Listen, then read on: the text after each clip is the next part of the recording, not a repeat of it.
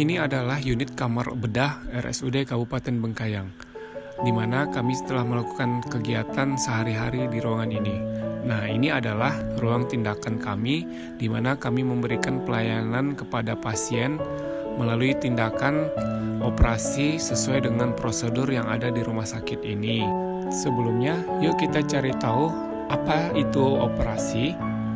Operasi adalah tindakan pengobatan yang dilakukan dengan cara membuka, memotong, menyayat sebagian anggota tubuh untuk kepentingan diagnosa atau kepentingan medis.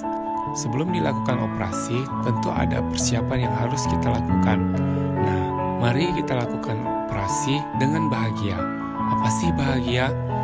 Ya, bahagia itu adalah istilah yang kami gunakan untuk tahapan persiapan operasi. Jadi, setiap pasien yang akan melakukan operasi harus bahagia.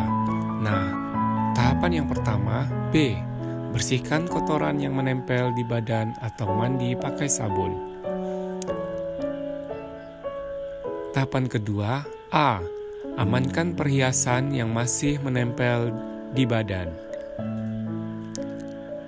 Tahapan yang berikutnya, Ketiga, H. Hilangkan rambut yang berada di area operasi. Nah, yang selanjutnya, tahapan keempat, A.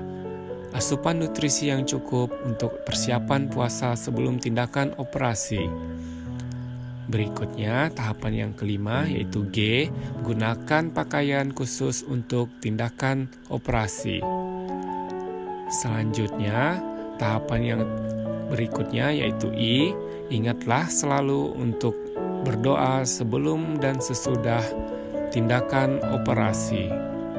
Dan tahapan yang terakhir yaitu A, atur nafas untuk mengurangi kecemasan dengan relaksasi nafas dalam.